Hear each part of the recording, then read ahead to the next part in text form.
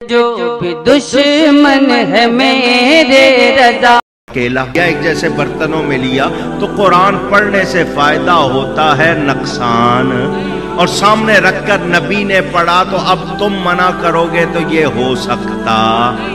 ऊँची।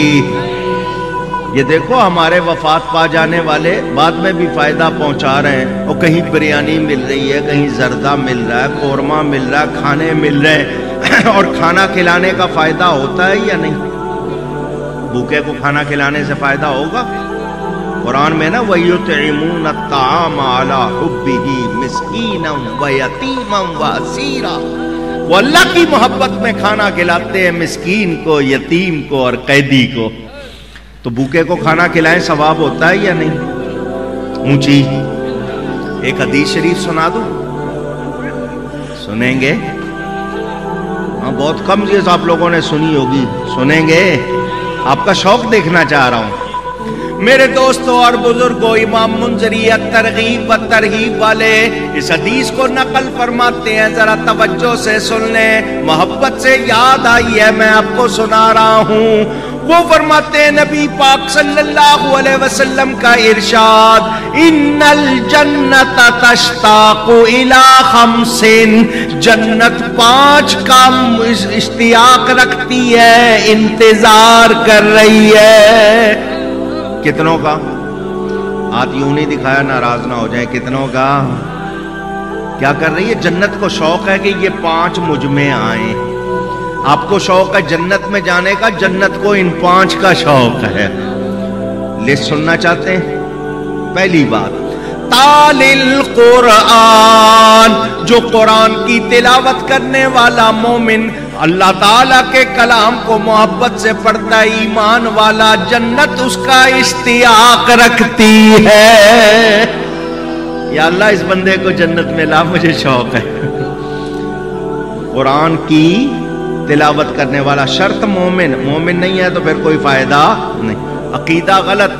बहुत से लोग कुरान पढ़ते हैं लेकिन ढूंढते हैं कोई नबी का नक्श मिल जाए, कोई ऐप मिल जाए। ऐसे लोग कुरान को बुरी नीयत से पढ़ना कुफर है, उलमा का मुत्तफ़ा फतवा। जो बुरी नीयत से पढ़े वो काफिर हो जाता है। तो जन्नत उसका इंतज़ार कर रही है जो कुरान की तिलावत करता है। एक हो गया। नंबर दो। मुतमिल जियान। जो भूखों को खाना खिलाए, जन्नत उसका इश्तियाक रखती है। क्या करे? भूखों को आवाज़। नहीं, जरा मज़े की आवाज़ चाहिए। हम तो लुक में छीनते हैं। मौलाना साहब, वो मेरे साथ वाले की दुकान बहुत चलती है, मेरी नहीं चलती, कोई तावीज दे दो, उसका बेड़ा खराब हो जाएगा तुम दुआ करो उसकी चल रही है, या अल्लाह मेरी भी चला।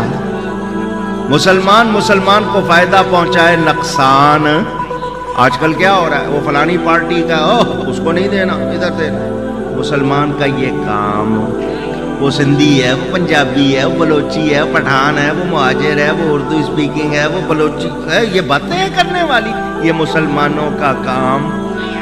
मुसलमान होना चाहिए, रंग कोई, जात कोई, नस्ल कोई, है ईमान वाला तो हमारा है।